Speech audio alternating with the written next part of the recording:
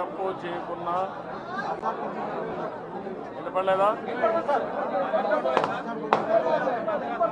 రెండో ఉన్నాయి మైక్ కూడా పెట్టాల్సింది మిస్ అయ్యారు. అందరికీ నమస్కారాలు. నమస్కారాలు. రాజకీయ చరిత్ర కలిగిన కుటుంబం నరేంద్ర గారిది. వాళ్ళ తండ్రి కానీ ఆయన కానీ ఎవరైనా కంటిన్యూగా ఒక నియోజకవర్గంలో ప్రజలకు సేవలు అందిస్తూ తెలుగుదేశం పార్టీ పెట్టినప్పటి నుంచి అన్ని ఎన్నికల్లో పోటీ చేసిన ఏకైక కుటుంబం జూడిపాల నరేంద్ర కుటుంబం. ప్రజల్లో ఒక విశ్వాసాన్ని అన్ని ఎన్నికల్లో గెలిచారు. ఒకసారి మొన్న ఒక్కసారి ఓడిపోయారు. అంటే దీన్ని బట్టి ఆ కుటుంబం ఏ విధంగా ఈ ప్రాంతానికి సేవ సేవలు అందిస్తుందో ప్రతి ఒక్కరూ అర్థం చేసుకోవాల్సిన బాధ్యత ఉంది. వీళ్ళ తండ్రి వీరయ్య చౌదరి గారు రైతుల కోసం ఎనలేని సేవలు అందించారు తెలుగుదేశం పార్టీ రైతు దినోత్సవం పెడితే ఆ అరేంజ్మెంట్స్ అని చేసే సందర్భంలోనే యాక్సిడెంట్లో ఆయన చనిపోయారు. ఎందుకు ఇవన్నీ నేను చెప్పానంటే ఆ డైరీ అభివృద్ధి చేసిన కుటుంబం ధూళిపాడ వీరయ్య చౌదరి గారు తర్వాత నరేంద్ర గారు ఎడ్లపాటి వెంకట్రావు గారు ప్రారంభించిన తర్వాత ఎనలేని సేవలు అందించిన కుటుంబం రైతులకు మేలు చేసిన కుటుంబం ఈ ధూళిపాడ కుటుంబం. అలాంటి వ్యక్తిని ఏ కారణం లేకుండా రాజకీయ కక్షలతో అరెస్ట్ చేయడం అనేది చాలా అమానుషం. నా రా నా రా- నలభై సంవత్సరాల రాజకీయ జీవితంలో ఎప్పుడూ చూడలేదు. ఇది ఒక అరాచకం ఇది ఒక దుర్మార్గం. దీన్ని చాలా తీవ్రంగా ఖండిస్తున్నా గర్హిస్తున్నా. ప్రభుత్వాలు శాశ్వతం కాదు. రాజకీయాల్లో ఉండే ప్రతి ఒక్కరూ గుర్తుపెట్టుకోవాల్సిన అవసరం ఉంది. విలువలు లేని రాజకీయాలు చేసి కక్ష రాజకీయాలకు పోతే రాష్ట్రం తగలబడుతుంది. రాబోయే రోజుల్లో సేఫ్టీ ఉండే పరిస్థితి ఉండదు.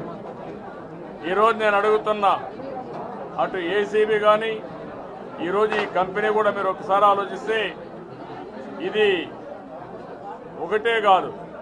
చట్ట ప్రకారం ఈ కంపెనీ కానీ విశాఖపట్నం డైరీ కానీ మ్యూచువల్ కోఆపరేటివ్ యాక్ట్ నుంచి కోఆపరేటివ్ నుంచి ఈరోజు కంపెనీ యాక్ట్స్ ప్రకారం వెళ్ళారు.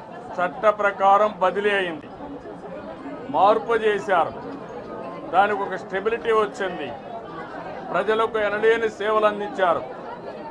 ఈరోజు ఇక్కడ చూస్తే ఒక హాస్పిటల్ పెట్టి రైతు సోదరులందరికీ పాడి రైతులకు ఎనలేని సేవలు అందిస్తున్నారు.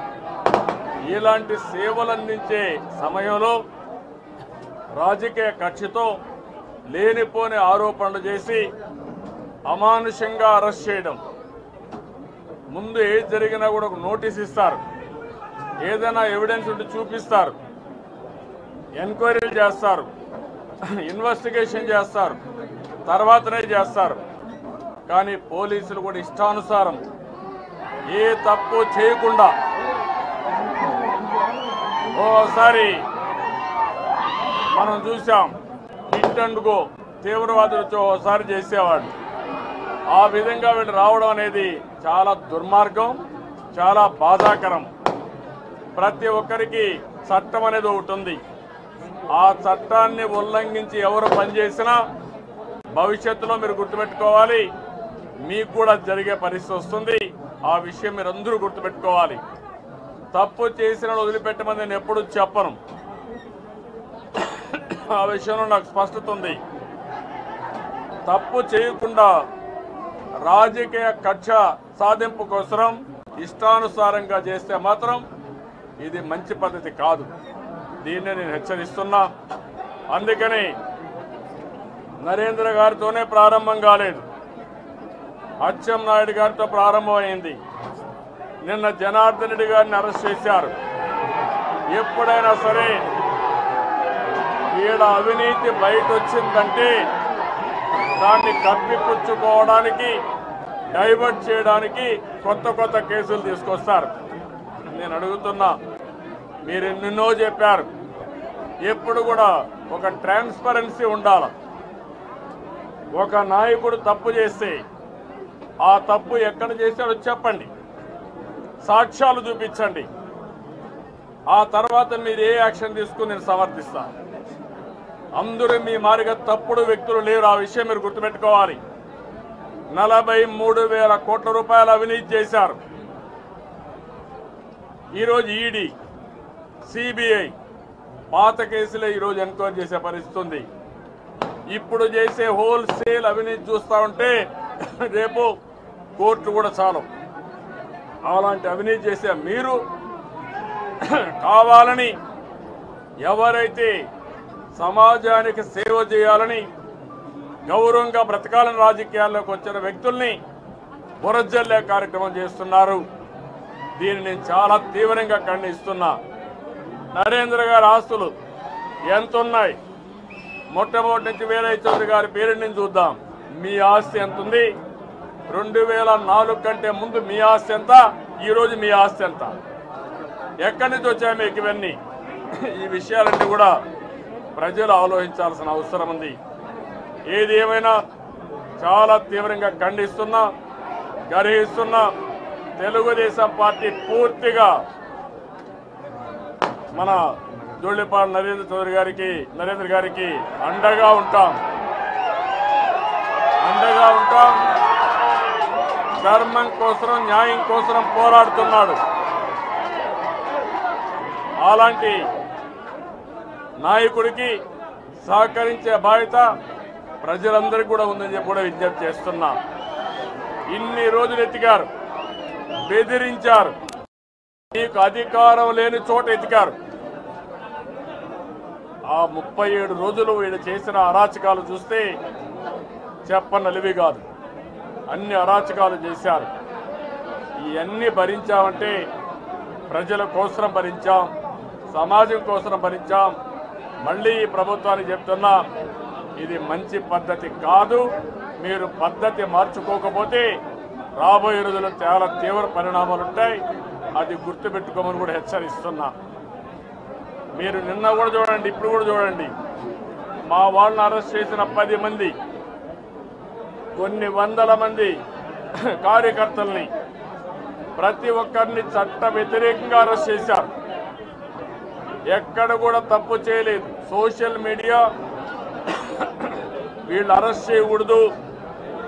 ఏదైనా ఉంటే ఫార్టీ వన్ ఏ నోటీస్ ఇవ్వాలని చెప్పినా మీరు అరెస్ట్ చేసే పరిస్థితికి వచ్చారు. ఏ చట్టం మీకు చెప్పింది? మొన్న సుప్రీంకోర్టు అక్షింతలేశారు ద్రోహం కేసు సోషల్ మీడియా కేసుల పైన స్వేచ్ఛ ప్రతి ఒక్కరికి ఉంది. ఆ స్వేచ్ఛ మాట్లాడే స్వేచ్ఛ ఉంది. రాజకీయం చేసే స్వేచ్ఛ ఉంది. ఫ్రీగా మూవ్ మూవ్ అయ్యే స్వేచ్ఛ ఉంది. మన రాష్ట్రంలో మనం చూస్తే ఒక ఉన్మాది పాలనలో పోలీసులు కూడా పావులుగా తయారైపోయారు. ఏకపక్షంగా ముందుకు పోయే పరిస్థితికి వచ్చారు. ఇది మంచి పైతే కాదు. పోలీసులు కూడా ఇతో పలుకుతున్నా నేను. రెండున్నర సంవత్సరాల దగ్గర అయిపోయింది. ఇంకా రాబోయే రోజుల్లో మీరే చూస్తారు. ఎవరైతే చట్ట వ్యతిరేకంగా ఇష్టానుసారంగా ప్రజలను కానీ తెలుగుదేశం పార్టీని హింస పెడుతున్నారో అన్నీ గుర్తుపెట్టుకుంటాం. భవిష్యత్తులో అన్ని సమీక్షలు చేస్తాం.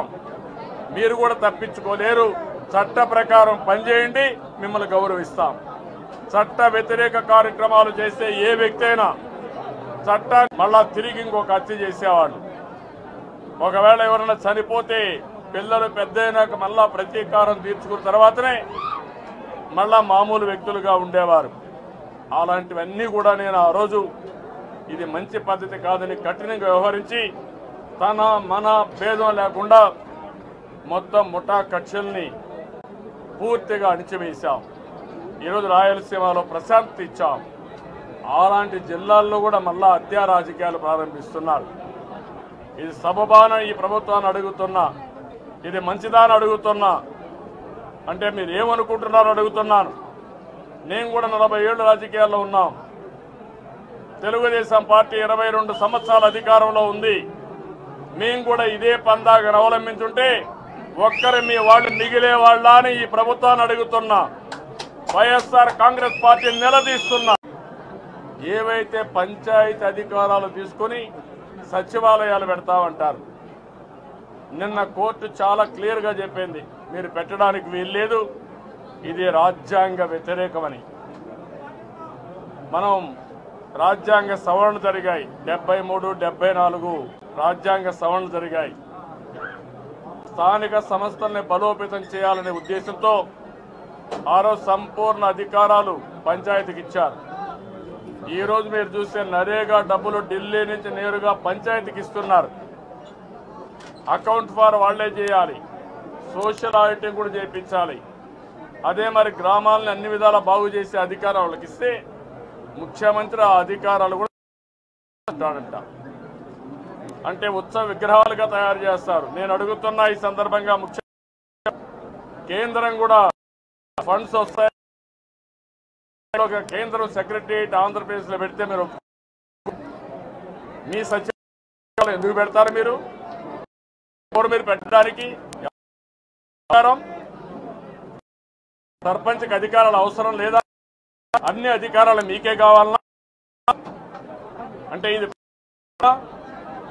ఏమనుకుంటున్నారు మీరు? ఎవడిచ్చాడు ఈ అధికారం మీకు? అడిగేవాడు లేకపోతే. కాబట్టి సర్పంచులందరూ కూడా రాజకీయాలకు మీరు కాపాడుకోవాలి. మీ వ్యవస్థ శాశ్వత శాశ్వతం కాదు. ఈ ముఖ్యమంత్రి ఉంటాడు. ఇతను చాలా మంది చూసింది ఆంధ్రప్రదేశ్ సమర్థులైతే ఇతను ఇష్టానుసారంగా విధ్వంసాన్ని చేస్తూ రాష్ట్రాన్ని భ్రష్టు పట్టిస్తున్నాడు. వ్యవస్థలను నిర్వీర్యం చేస్తున్నాడు. అన్ని వ్యవస్థలు నిర్వీర్యమైపోయినాయి పోలీసు వ్యవస్థ నీరుగారిపోయింది. ఐఏఎస్ ఐపీఎస్ అయితే ఈరోజు ఒకప్పుడు ప్రైడ్గా ఫీల్ అయ్యే ఐఏఎస్ ఐపీఎస్ వ్యవస్థ ఈరోజు మొత్తం నిర్వీర్యమైపోయే పరిస్థితి వచ్చిందంటే ఇది రాజకీయాలకు మంచిది కాదు. నిర్మోహమాటంగా ఇంపార్షియల్గా పనిచేయవలసింది ఆల్ ఇండియా సర్వీసెస్. అవి నిర్వీర్యమైపోయినాయి కడాన ఈయన కన్నులు పంచాయతీల మీద పడింది. ఈయన పెత్తనం చేయాలని. మీ పెత్తనం జరగదు. వాళ్ళకు పూర్తిగా అండగా ఉంటాం. ఏ పార్టీ సర్పంచ్ అయినా సరే వాళ్ళకు పూర్తిగా తెలుగుదేశం పార్టీ అండగా ఉంటుంది. మీరు పనిచేయండి. ప్రజలకు జవాబుదారితనంగా ఉండండి. మీరు గ్రామ సభలు పెట్టుకోండి. గ్రామాలకు ఏం కావాలనో నిర్ణయించే అధికారం మీది తప్ప ఈ పెత్తందారులది కాదు. ఈ రాష్ట్ర ప్రభుత్వానికి కాదు. ఢిల్లీ నుంచి నేరుగా నరేగా డబ్బులు కూడా మీకే ఇస్తున్నారు. మీరే దీన్ని ఉపయోగించుకొని అదే మరి ఇంకొక పక్కన చూస్తే ఫైనాన్స్ కమిషన్ కూడా నేరుగా ఢిల్లీ నుంచి డబ్బులు పంచాయతీలకు ఇస్తున్నారు. రాష్ట్రానికి కాదు. ఆ విషయం ఈ రాష్ట్రం గుర్తుపెట్టుకోవాల్సిన అవసరం ఉంది.